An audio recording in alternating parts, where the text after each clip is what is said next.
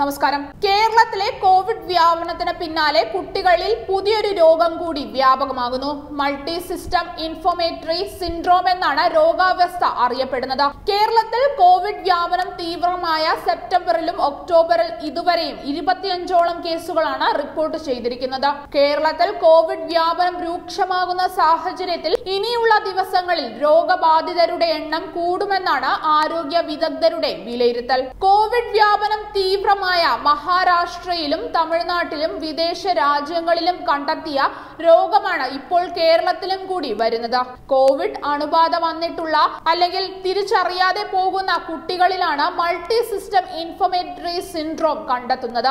അണുബാധയ്ക്ക് ശേഷം ചില കുട്ടികളിൽ രണ്ടാഴ്ച മുതൽ രണ്ടു മാസം വരെയുള്ള കാലയളവിലാണ് ഈ രോഗാവസ്ഥ പ്രകടമാകുന്നത്. പനി വയറുവേദന വയറിളക്കം കണ്ണിലും വായിലും ചുവപ്പ് ശരീരത്തിലെ ചുവന്ന പാടുകൾ എന്നിവയാണ് പ്രാരംഭ ലക്ഷണങ്ങൾ. ഹൃദയത്തിന്റെ പേശികളെ ബാധിക്കുന്ന അവസ്ഥ വൃക്കകളെയും കരളിനെയും ബാധിക്കൽ രക്തസമ്മർദ്ദം കുറയൽ എന്നീ ഗുരുതരാവസ്ഥയിലേക്കും രോഗം മാറിയേക്കാം. ഏപ്രിൽ അവസാന വാരം കോഴിക്കോട്ടാണ് ഏഷ്യയിൽ തന്നെ ആദ്യമായി രോഗം കണ്ടെത്തിയത്.